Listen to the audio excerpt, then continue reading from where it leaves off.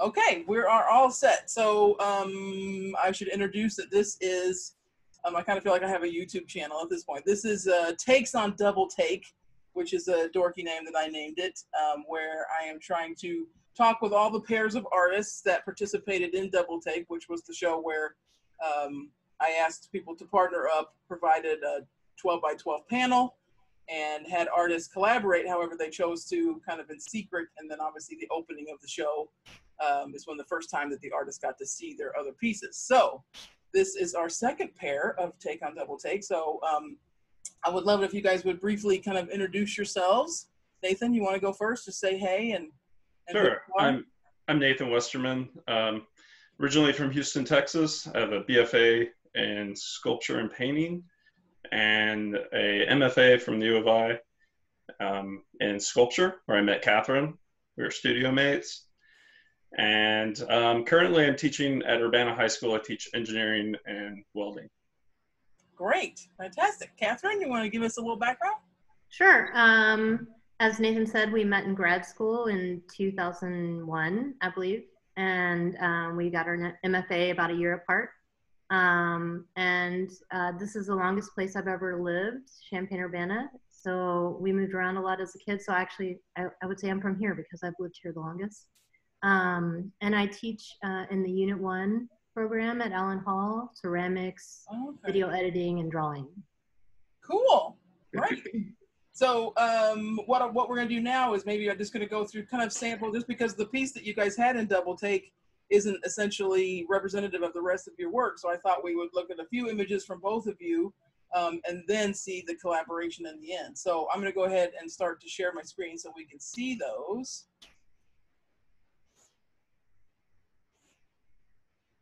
Okay, does everybody see that?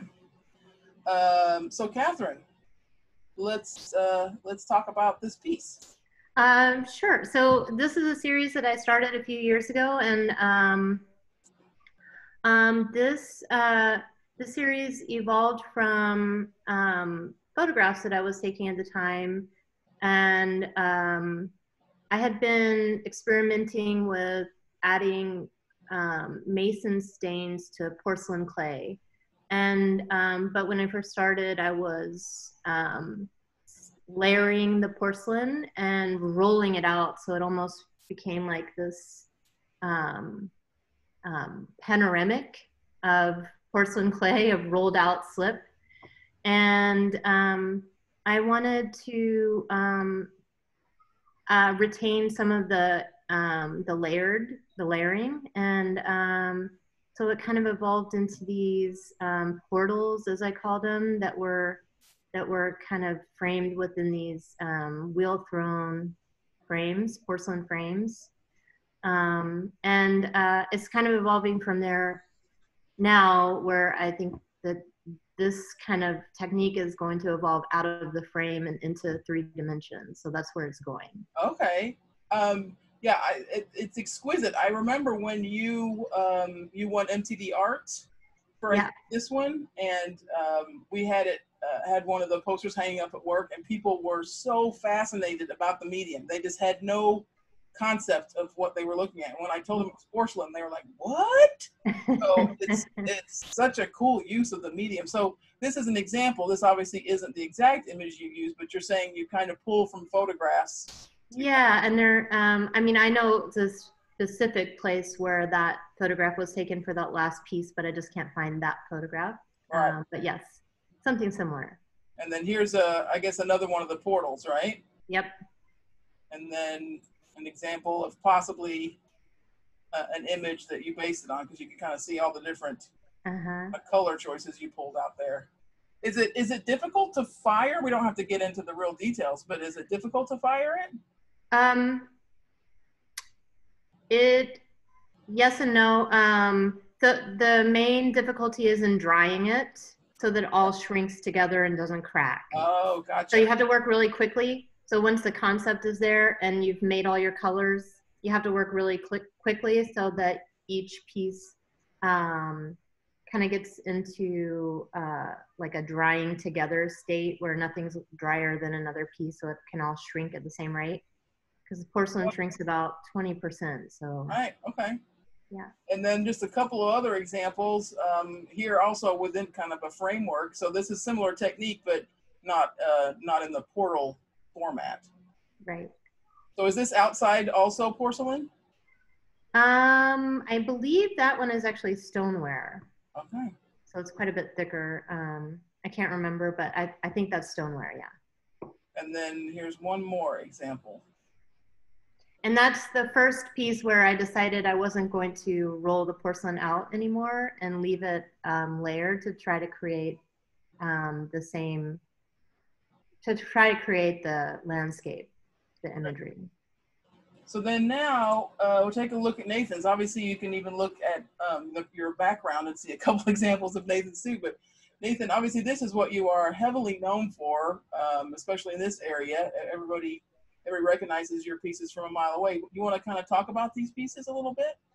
Yes. So um, I started making this work like maybe eight, ten years ago, and um, it was originally all um, or it is all reclaimed materials, reclaimed plywood from past jobs. Worked at the Krannert Art Museum and Urban Outfitters, and all the wood that was going to the dumpster, I would collect and kept in a shed, um, and then reclaimed paint um, from both of those jobs as well. And now I collect paint whenever I see it, or if someone knows they're throwing out paint. So it's all reclaimed materials mostly. Um, so then it being scrap materials, it, the circle lended itself. I could cut it out. I could cut out scrap, odd shaped pieces. Um, it's it's laminated plywood. The last, the top is quarter inch plywood that I coat with paint, rip on the table saw into strips, and reassemble in a composition. Um, so, thinking concepts, um, I think about the seams are important to me where the things meet. Mm-hmm. I think about where something new and something old um, meet. I think about um, home maintenance or home repair. When you replace something old, you try to make it match. Maybe say siding on a home. Right. Um, you can you can never match where the old and the new meet. Um, so I think of think of it kind of poetically like that. Um, Kelly, excuse me, Nathan, for a minute. Um, Cora's crying. Okay. I'm sorry. That's okay. Frank, he's supposed to be home, but. Um, and you, you intentionally leave the, the nail holes, right? Yeah, I'm interested in piercing the surface. I mean, there's there's a little bit of history of artists that have pierced the surface. Um, originally, I thought about filling those, and, and it's just become part of the composition, part of the rhythm, part of the process. Right. And then you've definitely done different color stories because these are kind of a very dark uh, example, but then I, you've done these beautiful ones where it's almost all different tones of white, right? Almost just little subtle tones of white. Right. When I when I first started, I was using really awkward colors. I liked the um, they were a little random. Um, they were they're all past wall colors. So these right. colors exist somewhere on someone's wall or in a, from a past exhibit or from a past display. And um, so I, I started with random uh, kind of awkward colors, pinks, kind of really fond of this kind of dirty pink. Uh, it's almost like dead grandma pink, uh, dingy, dingy colors. And then it, it moved into more like a Lego um, composition or, or color palette rather um, brighter colors and even the movement in in the way they're the stagger of the lines the stripes i think you you can see some a little more calm and some more static uh, some more static and some more kind of jarring almost. jarring yeah. Uh, and I, th- I think maybe that's a little bit of a um, you know, from personal experiences and and um, what's going on in politics. I think definitely going to these black are representative of where right. we are politically right now. Right.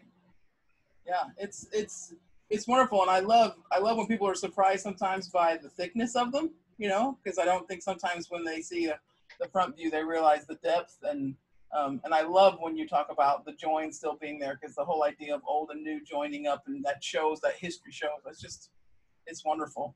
So um, I thought this was interesting. I have never seen this before, but Catherine sent it. So obviously this is back from when you all met. So it makes sense since this is another collaboration between the two of you. So what's the story behind this image?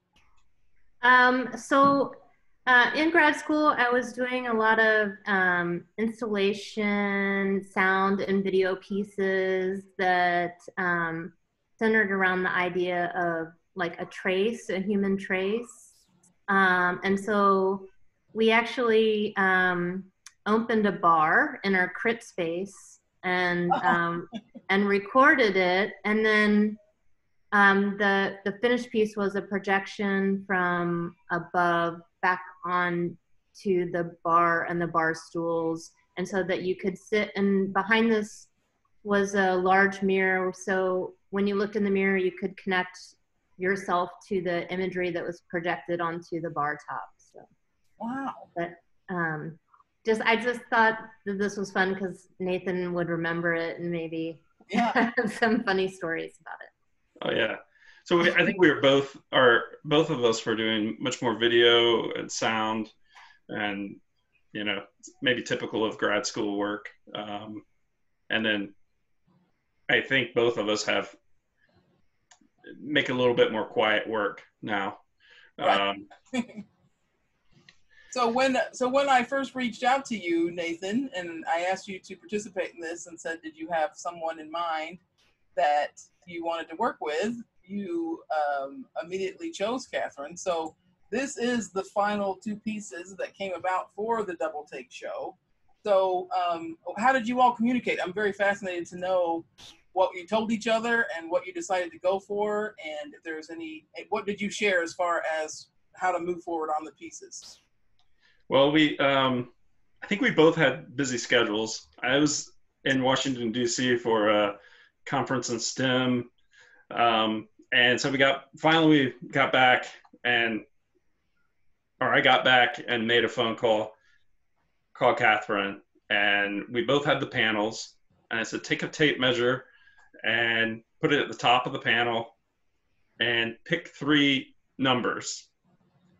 And I picked three numbers and she picked three numbers. And those were the numbers on the tape measure that we marked off on our panel. Okay. And that's it. That's all we did. That's So, all we talked about. Just marks and the, okay, great. Well, there was a little bit more. Did we? Was- yes. I said, Do you want to talk about content? And, and we were both pretty adamant about not sharing too much. But the word machine came up. Um, which- Oh, okay. which I think of when I'm working and doing this style of work, I do think like a machine, or I, I think, and I almost thought that was too easy for me. I thought Catherine might have been kind of throwing me one, but, um, but, but I remember at the opening, she was like, "Oh yeah, I didn't use that at all."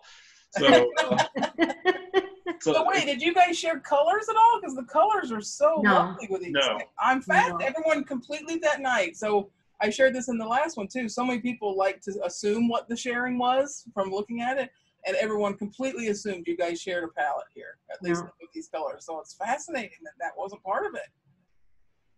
Wow. I was actually wanting more numbers, and Catherine.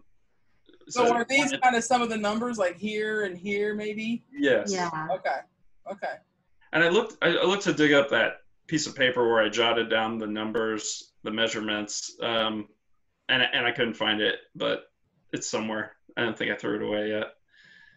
So, Um, um, as far as uh, your piece, Catherine, obviously this does not look similar to the pieces we just looked at. So, what what made you kind of go for this style versus um, something more typical that you would do? Um, well, I knew, uh, um, well, I couldn't work with clay. I, I had the disadvantage of only having a week to prepare this. So I knew I couldn't work with clay. And I knew that Nathan worked with house paint. And I didn't have any house paint, but I knew where I could find a very cheap, well, free material with paint chips. And um, so I decided that I was going to work with paint chips just I don't know, in some way I thought it would connect to Nathan's work. Um, but um, but sticking with a more landscape theme. Um, and then um, uh, letting the the names of the paint chips show. I love that. Um, and um, yeah, the photograph that I chose, in some ways, it just happened to share some um, some numbers that seemed to match up with the photograph, um, and I just I thought it worked. Um, also, the graffiti, I was really drawn to the graffiti and um, and how challenging that would be to recreate with paint chips. right, right. And even, I mean, I love the fact that, um, I mean, I was, it's kind of almost patchwork and rigid over here, and then it gets much more organic. But the, the, I can't remember some of these now, but it was very enjoyable to read the actual paint colors, you know, because that's all Uh-huh. fascinating to me is what the, what they chose to call the different paint colors. And some of them really kind of fit and made a lot of sense for the whole piece. So, um, okay, so let's, uh, this is kind of you. It kind of gave me this image just because you were you were working off this I off the telephone pole aspect, right? Mm-hmm. Um, yeah, just that image was just um, another uh, sample of a photograph that I might take and then be inspired to create a piece from. So. And then Nathan, this is your piece, um, which is um, similar to your work and the fact of the kind of the stripes and the circles. But what was your thought process behind this one? Well, um, machine again, Right. um, even though it was really not. But that, like I said, that's sort of something that's always there. Um, so I took the numbers, and from there, I, I use I use different tape thicknesses. Um, so I, I have the house paint, and I created. Uh, I put the lines, and I, I made the stripes with the house paint. Or I'm sorry, I made the stripes with the tape, and I put a layer of paint down. And then where I pulled off the tape, the the thickness of the tape was the registration for the next line.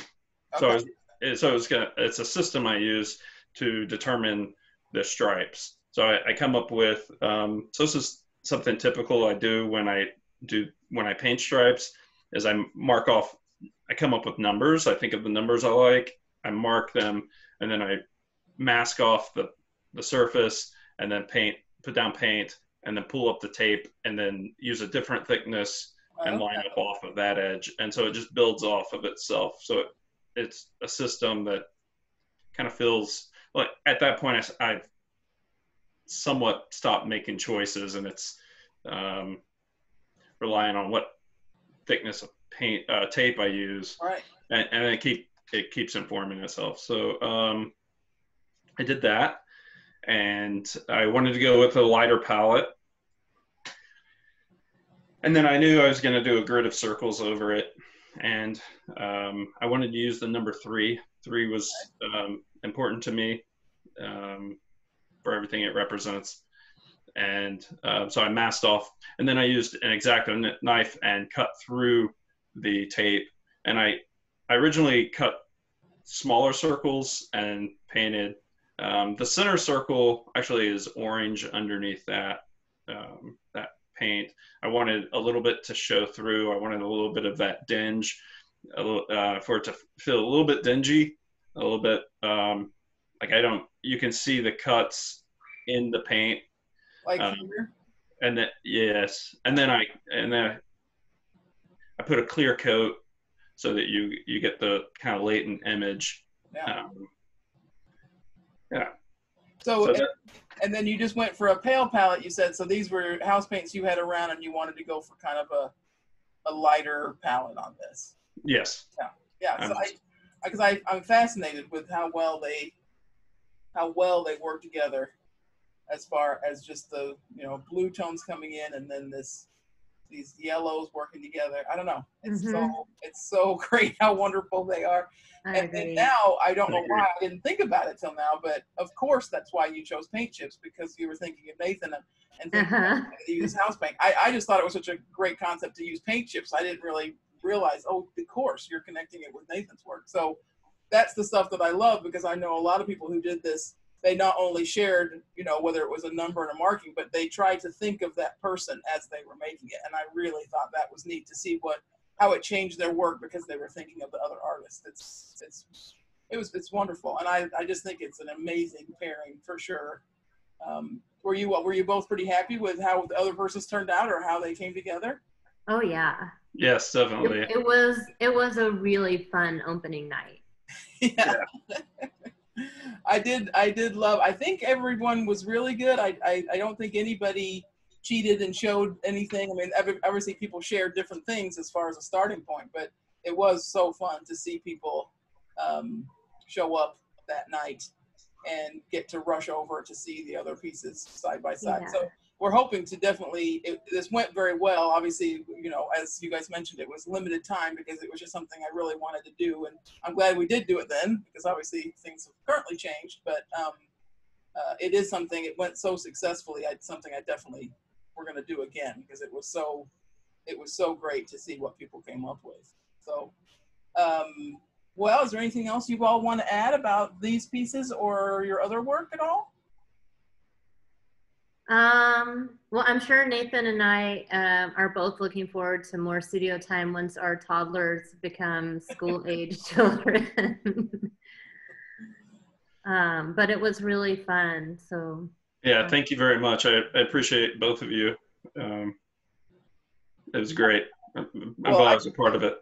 I really appreciate it because uh, you know, kind of came out of left field, and like you said, you're both got very busy situations. So the fact that you took the time to collaborate and create these two amazing pieces, um, I, I was absolutely thrilled. So I very much appreciate that. So, and then I appreciate you giving time today to talk about it so that people can learn more about it because that's what we came away with that night after the opening is that people so wanted to know what the artists said to each other, and they Mhm. assumed that almost 90% of the time they were wrong. But I love that. I love that. So it's kind of cool. So anyway, thank you all so much, and I hope, uh, yeah, I hope next time we can, you know, maybe not do this over Zoom, but we'll see. But I appreciate this anyway. At least it it gets uh, gets the get the art out there some way or another. So thank you both, and and I hope I see you both soon. Yes, Thank stay you, safe. Kelly. Thank you. Bye.